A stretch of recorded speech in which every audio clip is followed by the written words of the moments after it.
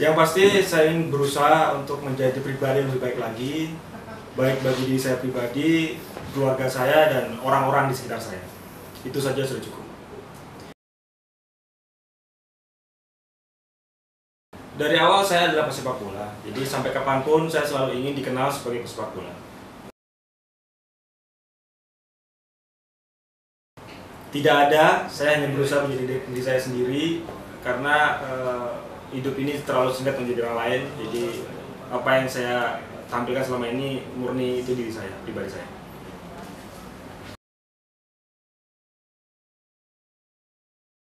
Setiap pelatih di tim nasional selalu berkesan. Mereka selalu memberikan hal-hal positif pada diri saya dan perkembangan dari saya.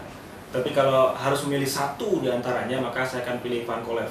Karena uh, selama main Van Kolev, saya merasa saya bisa tampil maksimal dan memberi yang terbaik.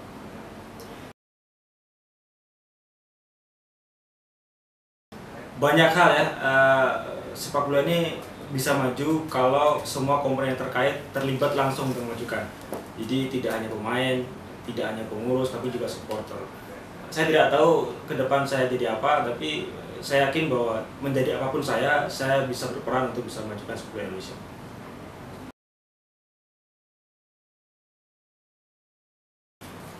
Saya belum tahu, tapi buku itu dulu terbit karena uh, spontan sebenarnya, karena ada teman yang mengajak untuk membukukan tulisan-tulisan saya dan tujuannya untuk amal. Jadi uh, seketika saya iakan.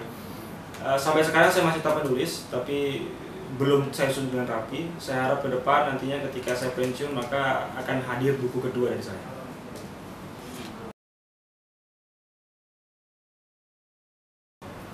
Pilihan sulit karena Lebak Bulus adalah tempat di mana saya mengawali karir dengan Persija. Banyak sekali cerita sedih, bahagia di sana. Gelora Bung Karno adalah tempat di mana saya berkiprah untuk tim nasional Indonesia. Jadi dua stadion ini sangat uh, bermakna buat karir saya. Jadi saya tidak bisa memilih dan saya akan pilih dua-duanya.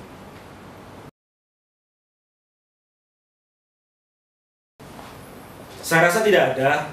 Uh, selama saya berkarir ketika saya belum menikah dan saya menikah tidak ada perbedaan yang berarti. Mungkin yang e, membedakan adalah lebih banyak orang yang mendukung saya lebih banyak orang yang e, mensupport saya secara pribadi sebagai keluarga.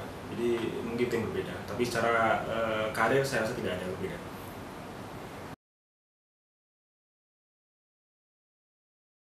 Uh, tidak pernah ada jalan singkat menuju sebuah kesuksesan jangankan untuk menjadi sukses. Untuk mimpi pun kita harus tidur terlebih dahulu. Artinya bahwa apa pun yang terjadi dalam karir kita jangan pernah e, berhenti untuk berusaha jangan pernah berhenti untuk e, berdoa jangan pernah berhenti untuk berlatih karena suksesan itu akan hadir kepada mereka yang selalu tekun untuk e, menjalankan apa yang dia yakini.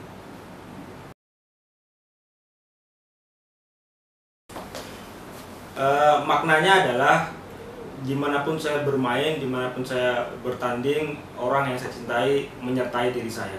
Jadi itu adalah uh, arti kenapa di sepatu saya ada nama PP dan Dewi.